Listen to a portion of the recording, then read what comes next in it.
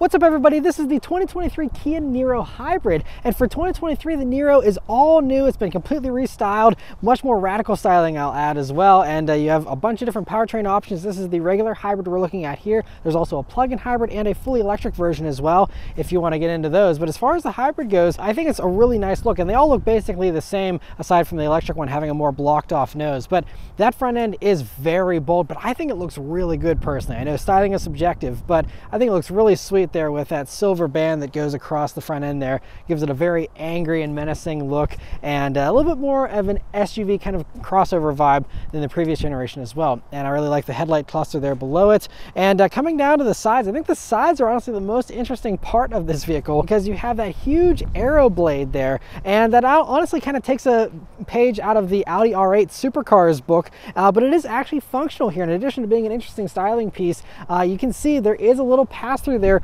for air to go through to into the back there. And so it helps with the aerodynamics and looks really cool and distinctive and sets this apart from you know all the other hybrids out there that don't do anything like that.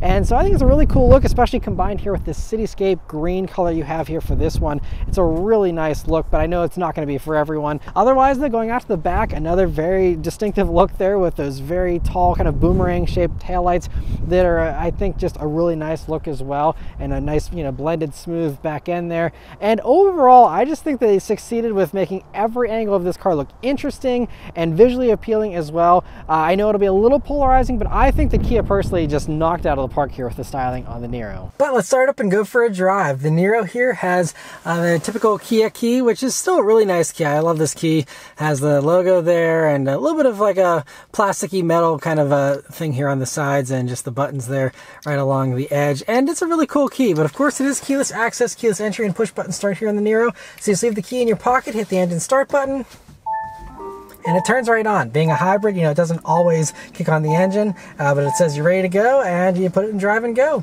And if you're curious to hear about the interior in the 2023 Niro, my wife and I just did a full in-depth interior review on this vehicle, so I'll link that at the end of this video. You can go watch that if you want to hear all our thoughts on this interior and all the details on it. Overall though, because the vehicle has grown by about two and a half inches, it's actually giving you a lot more rear legroom there, uh, and then otherwise it's the same modern Kia stuff you see in any other new Kia these days really impressive, and uh, you know, for the most part, they really nailed everything. And this is a really cool and unique take here on this new interior as well. So definitely check out that video for all the details, but overall, a very nice place to be. All right, so setting off here in the 2023 Niro Hybrid. So first thing you notice here about the new Niro, well, first off, visibility is really great. You have a nice large windshield, a pretty thin A-pillars, and a great view out of the back. Other things here, though, is I'm actually really impressed by the power of the electric motor. On its own, it does 43 horsepower and 125 pound-feet of torque, which doesn't sound like a ton, but considering this thing only weighs about 3,200 pounds, you don't need a ton of grunt to get up and go at low speeds. And so I've been impressed compared to the average hybrid that usually doesn't have very much grunt before it has to kick on the gas engine. This has a good amount of grunt that I've been able to accelerate at reasonably slow paces up to you know about 25 miles per hour or so with that electric motor doing all the work. And so if you're not in a hurry and you're just, you know, casually driving around, I was actually impressed at just how much driving I could actually do in electric mode here with just the regular hybrid version. So that was one thing I was really impressed by. Uh, other things here that are uh, pretty good. So you have a nice responsive brake pedal that feels natural and doesn't really give me any variability like some other hybrids uh, do sometimes. And so it was pretty, uh, you know, good to use that. Another thing is the throttle response is pretty good for the most part since we have a naturally aspirated engine and you have those electric motors kicking in. Um, you know, it's usually pretty responsive, but the one uh, downfall of this whole powertrain setup, in my opinion, is this six-speed dual clutch automatic transmission. There's been a few times where I've caught it out of gear, and unfortunately, this car only has an eco mode and a sport mode. There's no normal mode. So in eco mode, I found that it's tuned to really try and resist the downshift, and so there's been a lot of times where I've been waiting to be like, come on, and then it decides to go. And uh, you know, it's also not always smooth with the transmission either. And there's been a few times where it's been kind of herky jerky, where uh, you know the electric motor kicks in and then it has to wait, and the gas engine kicks on. It's this disconnected, unnatural feeling. It's not very smooth and polished. That's not all the time, but it is sometimes, and it's not rare, I'd say. It's, you know, fairly frequent with the way that occurs. And so I just wish there's a little more polish done or a normal mode added to make it a bit more responsive without having to have it be crazy in sport mode. But uh, speaking of that sport mode, we're going to go ahead and put it up into that mode. And let's turn down onto this back road here and see how it accelerates. And here we go. So that electric motor kicks in and I mean, it is very responsive in that sport mode. It immediately leapt into action there and accelerates fairly well for what it is. Again, the goal of this vehicle is high miles per gallon, not performance, not acceleration. And so as a result, you have a total of 139 horsepower from a 1.6 liter naturally aspirated four cylinder engine combined with that electric motor, which on its own does 43 horsepower, but again, combined it's 139 horsepower total. And all total, it's 195 pound feet of torque. If you want more power, the plug in hybrid version gives you 180 horsepower using the same engine, but with a more powerful electric motor. And then there's also the electric version with 201 horsepower, which will be the quickest of the bunch. And I did review the previous generation Niro EV, which had you know the same kind of setup for the most part, and it was pretty sporty, and I was really impressed with that. So I think that would definitely you know be the most exciting one to go for the electric one. But uh, you know the thing is, you know, it's an 8.9 second 0 to 60 time for the regular hybrid version here. And that is, you know, a little slower than the average family crossover. It isn't painfully slow if you're used to usual and stuff like this and you're not an enthusiast that's into sports cars or anything. Uh, but, you know, you definitely have to make sure that you are very deliberate about, you know, when you accelerate, how you merge. Uh, you know, you have to just kind of pre plan those things a little bit. You don't have plentiful power, I'd say. And especially, you know, with the gas engine itself only doing about 106 horsepower on its own, it really has to work hard whenever you're beyond those low speeds where the electric motor can help you out a little bit more. So at higher speeds, that's where it really starts to show the lack of power a little bit. But other things here though, so we're on this little bit of a rougher road that generates some road noise typically is a little bit on the noisy side. I did see the car and driver actually, uh, in their measurements, uh, measured that this is noisier inside than the previous generation for some reason. And so, you know, just keep that in mind if you're going from the old one to the new one. If it sounds a little noisier inside, that's, you know, partially why. But I think it's you know average for this segment and still kind of appropriate for you know vehicles like this that are not a luxury vehicle or anything like that. But anyway, we're kind of some corners here, and let's see how the handling is here in the Niro Hybrid. So in sport mode here, you have slightly heavier uh, steering, and of course that more aggressive throttle response and stuff. And as far as the handling goes, it's not bad. Obviously, you know we're not on sporty tires or anything. They're 225 wide, which isn't too bad honestly, but they're just you know average, you know all season kind of tires here, so not a ton of grip and I do feel that it wants to push a little bit, and you know, it certainly leans towards understeer, and the limits are fairly low, but it's not bad. Um, you know, not the sportiest thing out there. I think if you want a sportier hybrid, the new Prius is definitely the way to go. It's much faster, handles better, as long as you can give up the extra practicality you get here in the Niro. Uh, I think the Prius is definitely going to be the way to go for those who do want something a little sportier. But as far as you know, this goes for the average commuter. It's going to be totally fine. Handling is totally fine. It's not sloppy or anything. It's you know still nice and tight with its handling. It's very composed, and it's still very good. You know, it's just it doesn't impress me, but it certainly doesn't really let me down either. It's just kind of par for the course, what you'd expect out of something like this. And there's nothing wrong with that. So I think handling is totally fine. And again, the fact they kept it, you know, just over 3,200 pounds means it's pretty nice and light, which is refreshing these days with so many other vehicles, you know, being so heavy and bloated.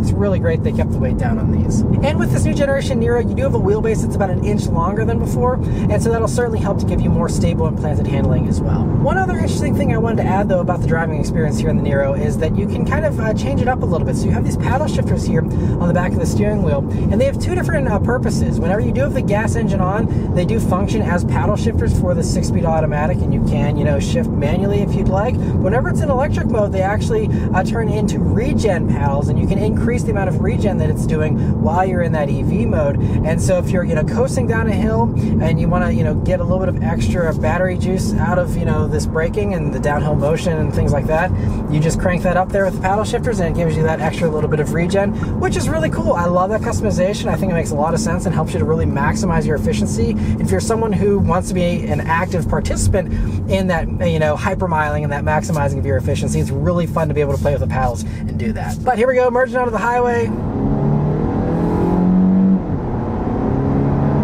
You know, for The amount of power that it has, though, I think it actually is pretty respectable. And uh, yeah, you know, you just don't want to be uh, pulling out in front of 18 wheelers or anything like that. But aside from that, yeah, it's going to be totally fine for your average commute. But now we're out on the highway here, and I have it in the highway drive assist mode, which is the adaptive cruise control with lane keeping assist. And uh, this system, so if you've watched any other Kia and Hyundai reviews in the past few years, the highway drive assist system isn't one of the best systems out there in my opinion. It has let me down on several occasions where it doesn't hold the lane and it's a little tricky to tell when it's actually giving you assistance and when it isn't. It's not very clear about that. And uh, so as far as the Niro goes in my experience here this week, I've already been driving this vehicle for a whole week and it hasn't really let me down. It's been fine in this vehicle and this, you know, goes to show with these vehicles. You know, it depends on the kind of roads you're on, the circumstances, the you know whether the sun's glaring at the camera or not. There's all kinds of variables at play here. You know how the roads are painted, all of that kind of stuff, as far as how the system will perform. Um, but you know, I'm just here to say that it does work pretty good most of the time. The adaptive cruise system works fine otherwise. It's really the lane keeping assist is the only part that I ever have an issue with. And even that, you know, like I said, does work pretty well sometimes. It's just not totally reliable, and so therefore I don't trust it as much as I trust some of the other lane keep assist systems out there. But as we're coming up to a gentle corner here now, we can test it out. And while we are testing it out here, you know, one other thing too is out on the highway here, you know, you do have some road noise for sure. It's not super quiet here or anything but again, for this segment of vehicle, I think it's totally acceptable and you know, not too disappointing or anything. And so it did a great, fine job, just you know, handling that corner, no problem. And uh, so again, especially if you're in a place where you don't have very many corners on your highway, uh, I think the system's going to most of the time be really good, and you know, it should be a nice little bit of extra assistance. Again, you still have to always keep your hands on the wheel, always be paying attention, but it gives you a little bit of extra assistance there to help take a little bit of the fatigue out of those long highway drives. As far as the other safety tech goes here, though, in the Niro of course, uh, being a Kia, they give you a lot of really great standard features. Of course, you have the automatic emergency braking, you know, the lane keep assist, all that kind of stuff is standard here. And so, um, you know, it's really great. This one is a fully loaded SX Touring, so that's how you get the highway drive assist with its more advanced features and things like that. But, you know, all the other basic stuff is standard, and, you know, it's just great that you don't have to, you know, pay a bunch of extra money for a bunch of extra safety features. Um, and especially, it's nice here that, you know, these fully loaded ones come with all that good stuff as well. Last couple of things I mentioned here about the Niro Hybrid are the fuel economy and then the pricing and how it compares to its competition. So first off, fuel economy. Uh, these are rated at 53 mpg in the city, 45 on the highway, and 49 combined. In my driving here, I've been uh, driving for about 130 miles now. I've been averaging 45 mpg, so I'm hitting right at that highway number, or the lowest you know number there, and that's pretty good considering I did do a little bit of idling to film this interior and stuff, and that did use mostly battery power, but did kick on the gas engine a little bit. So that certainly dragged it down a little bit. Um, but aside from that, you know, I did do a pretty good mix of city and highway. So, you know, I was hoping to get closer to that combined figure of 49. 45 though still is pretty decent I think especially considering you know how much space you have in here all the luxury features and all that kind of stuff. You know I think that that's pretty decent fuel economy even though it's not the best out there it's certainly not bad. But then the last thing to mention here is the pricing and how it compares to those competitors. Now there's really no direct competitor to this aside from the Prius I guess you could say but the Prius you know it's not trying to be a crossover. Like this is trying to be a crossover. It's still it's kind of just a larger hatchback the true hybrid crossover crossover within Kia is the Sportage hybrid. And so, you know, I could go through all the compact crossovers and their hybrid versions, but, you know, that's going to take way too long. And, you know, they all have their pros and cons, but the two competitors I did really want to point out here are, for one, uh, the Kia Sportage hybrid. That is, I think, the closest competitor. And just ironic because, you know, it's from Kia. And so, obviously, if you're shopping the Niro, I'm assuming you're open to Kias. And the thing with the Sportage is you get about 100 more horsepower with its hybrid version you also have the option to go up and get an all-wheel drive version that does drop fuel economy, and the, even the front-wheel drive Sportage Hybrid does give you about 6 mpg less combined than this. 6 mpg is you know, fairly significant, but you're still getting 43 mpg in a crossover. And so I think that that Sportage Hybrid is really impressive. And the kicker is that this vehicle, as tested, they start around just under $28,000. This one, as tested, is about $36,500. And for about $37,700, so basically like 1200 bucks more, you can get that Sportage hybrid comparably equipped. And so you're looking at a thousand extra dollars for way more power, way more space on the inside, and you know, only a slight bit less fuel economy. To me, you know, it kind of puts the Niro in a niche, and I was honestly surprised to see the Niro come back for a new generation because I was like, oh yeah, we're just gonna get a Sportage we will see if the sales numbers bear that out or not. But because the Sportage Hybrid is so competitive, at least on paper, I have not driven one. I've driven the regular Sportage, not the hybrid yet. But at least on paper, to me, that seems to make more sense. Unless you absolutely want those extra 6 MPG and you don't care about having the extra space of the Sportage. The screens are bigger. They're 12 inch screens in that versus the 10 inch screen here you have in this. There's just a lot going for the Sportage. The Sportage is very good here for this new generation. And I personally would give up 6 MPG to have the much better experience, and the much better power, all that of the Sportage Hybrid. Um, so that is, I think, really the toughest competitor. The other competitor, though, is the brand new Prius, which is very impressive. I did drive that a few months back. And I mean, that's going to give you over 50 mpg even if you go for the luxurious version with the big wheels if you go for the lower trims you're going to be getting you know over like 55 mpg in that so i mean way better fuel economy than this they also have almost 200 horsepower now and there's an option to get an all-wheel drive version for the prius as well which still does better fuel economy than this does. Um, and then on top of that you also have a bigger screen inside the prius. Now the downside of the prius is that the prius doesn't have a large hatch. They really downsized the cargo area compared to the last generation prius. So, you know, it really, I think that Niro does have this niche where it splits the two differences. If you don't need a ton of cargo space and you want something sporty and you don't need the crossover thing, get a Prius. If you want a ton of cargo space and you want the crossover practicality and, and all of that, I'd say go for a Sportage. If you find yourself in the middle where you want some more practicality than a Prius, but you don't need as much as a Sportage, and you find yourself in that perfect little sweet spot in the middle where neither of those vehicles fit you perfectly, then I could see the Niro fitting for some people.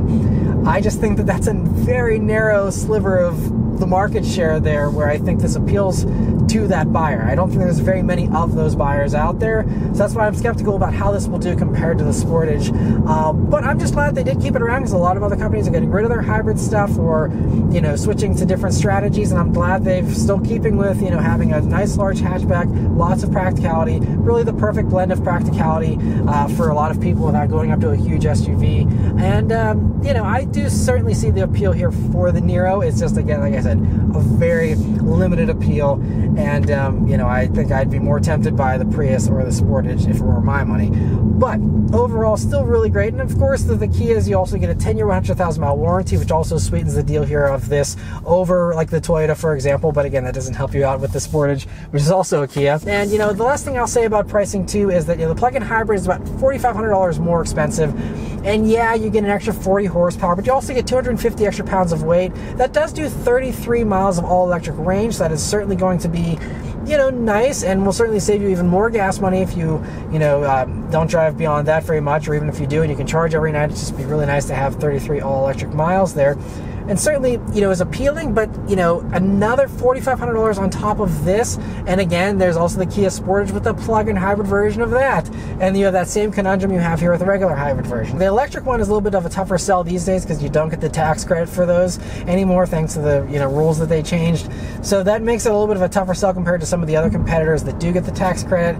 And um, so all the Niros kind of are in a, a tough spot I think honestly and uh, it's just unfortunate because I think they did a great job on the styling, did a great job on the redo here. Just the positioning and just the strength of the Kia lineup really, I think, makes it tough for the Niro. But anyway, that's all of my thoughts here on the 2023 Niro. Let me know your thoughts on it in the comments below. Please also leave a like, comment, and subscribe to keep these videos coming. Huge thanks to Kia also for providing me here with this vehicle to review for you guys today. And yeah, definitely check out that interior review as well if you want to, you know, hear all the details on this interior. But thank you all very much for watching, and I'll see you on the next one. Take care.